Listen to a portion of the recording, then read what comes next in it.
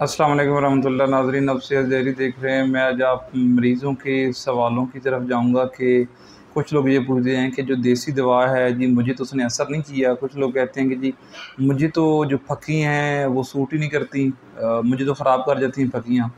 تو اور کچھ یہ کہتے ہیں کہ جی میں نے تو پھکی بنا کے رکھی تھی تو وہ ذائقے تبدیل ہو چکا تھا۔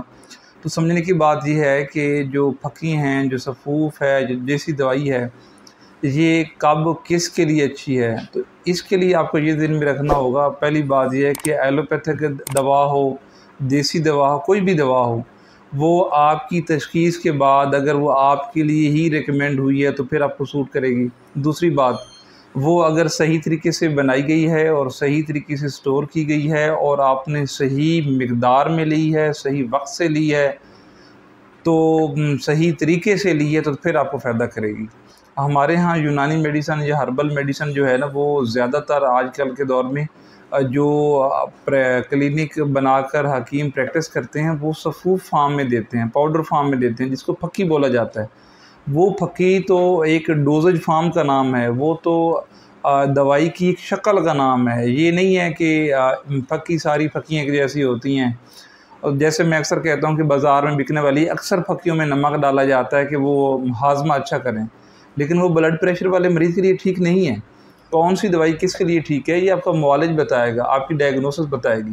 اور یہ ہے کہ جب آپ کوئی بھی پھکی پیستے ہیں، پیس کے گرم گرم مشین سے نکال کے فوراً سے شاپر یا پلاسٹک کے کنٹینر میں ڈالیں گے، بند کریں گے، تو وہ جلدی خراب ہو جائے گی۔ کوئی دوائی کتنے عرصے بعد خراب ہوتی ہے پھکیوں میں یونانی یونانی میڈیسن کی جو دوا ہے، اس کی ایکسپائری کیا ہوتی ہے، اس کے بارے میں ایک ہم الگ سے ویڈیو بنائیں گے۔ فی الحال آپ یہی سمجھیں کہ ایسا نہیں ہے کہ ہر پکی ہر بندے کے لیے ہوتی ہے اور ہاں، کوئی بندہ کہے کہ جی مجھے دیسی دوائیاں سوٹ نہیں کرتی، کوئی کہے مجھے ہومیوپیتھک سوٹ نہیں کرتی، کوئی کہے مجھے انگریزی دوائی جو ہے نا بالکل سوٹ نہیں کرتی، ایسا نہیں ہے۔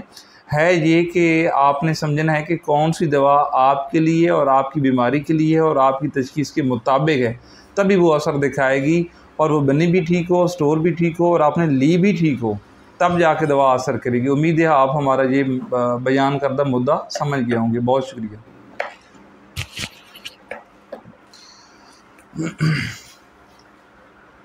ہم بھی چیک کر لو یہ نوٹ تو علاوہ